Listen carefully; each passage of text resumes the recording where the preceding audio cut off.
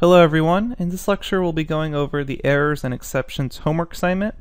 Consists of a few problems and I'm just going to go over them so you understand them all. Problem 1, you'll see I want you to handle the exception thrown by the code here by using try and except blocks.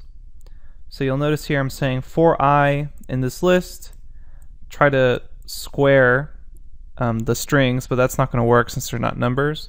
So I get this type error what I want you to do is use try and except blocks to try this and then except if you get an error do something else. Next up for problem 2 what I want you to do is handle the exception thrown by the code below by using again try and except blocks. Then I also want you to add a finally block to print all done at the end.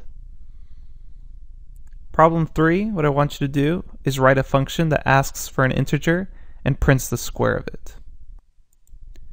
I want you to use a while loop with a try except else block to account for incorrect inputs.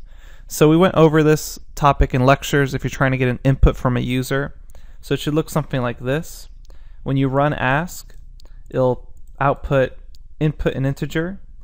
Notice I put null, so it says an error occurred, please try again. Then I say input an integer, I inputted 2, it says thank you, your number squared is 4. So remember we covered on how to use how to do this using a while loop with a try except and else statement. So make sure you do that and that's actually it for the errors and exceptions homework assignment. Okay, thank you and I'll see you at the next lecture where we're going to go over the solutions to this assignment. Thank you.